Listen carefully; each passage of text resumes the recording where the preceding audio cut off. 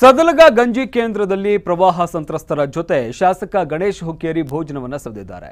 ಚಿಕ್ಕೋಡಿ ತಾಲೂಕಿನಲ್ಲಿ ಪ್ರವಾಹ ಉಂಟಾಗಿರುವ ಹಿನ್ನೆಲೆಯಲ್ಲಿ ಸಂತ್ರಸ್ತರ ನೆರವಿಗೆ ಧಾವಿಸಿರುವಂತಹ ಶಾಸಕ ಗಣೇಶ್ ಹುಕ್ಕೇರಿ ಟ್ರಕ್ ಮೂಲಕ ಸಂತ್ರಸ್ತರನ್ನ ಸದಲಗ ಪಟ್ಟಣಕ್ಕೆ ಕರೆತಂದು ಪಟ್ಟಣದ ಸರ್ಕಾರಿ ಶಾಲಾ ಕಟ್ಟಡದಲ್ಲಿ ವಸತಿಗೆ ವ್ಯವಸ್ಥೆಯನ್ನು ಮಾಡಿಕೊಟ್ಟಿದ್ದಾರೆ. ಇನ್ನು ಕಾರ್ಯಕರ್ತರೊಂದಿಗೆ ಖುದ್ದು ಫೀಲ್ಡ್ಗೆ ಇಳಿದಿರುವಂತಹ ಶಾಸಕ ಊಟ ಹಾಗೂ ಔಷಧಿಯ ಪೂರೈಸುವಂತಹ ಕೆಲಸವನ್ನ ಮಾಡ್ತಾ ಇದ್ದಾರೆ. ಪ್ರವಾಹದಿಂದ ಆಸ್ತಿ ಪಾಸ್ತಿ ಕಳೆದುಕೊಂಡಿರುವಂತಹ ಜನ ಭಾರಿ ಆತಂಕಕ್ಕೆ ಒಳಗಾಗಿದ್ದನ್ನ ಕಂಡು ಸಂತ್ರಸ್ತರ ಜೊತೆಗೆ ಭೋಜನ ಭೋಜನವನ್ನು ಸವಿದಿದ್ದು, ನಾನು ನಿಮ್ಮ ಜೊತೆಗೆ ಇದ್ದೇನೆ, ಸೂಕ್ತ ಪರಿಹಾರವನ್ನ ನೀಡ್ತೇನೆ, ಆತಂಕ ಪಡುವ ಅಗತ್ಯ ಇಲ್ಲ ಅಂತ ಶಾಸಕ ಹುಕ್ಕೇರಿ ಸಂತ್ರಸ್ತರಿಗೆ ಅಭಯವನ್ನು ನೀಡಿದ್ದಾರೆ.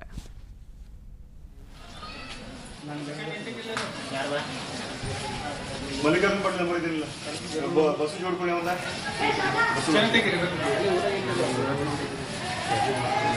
ಇರ್ಲಿ ಯಾರ ಕಡೆ ಇದ್ರೆ ಚಲೋ ಇದೆ.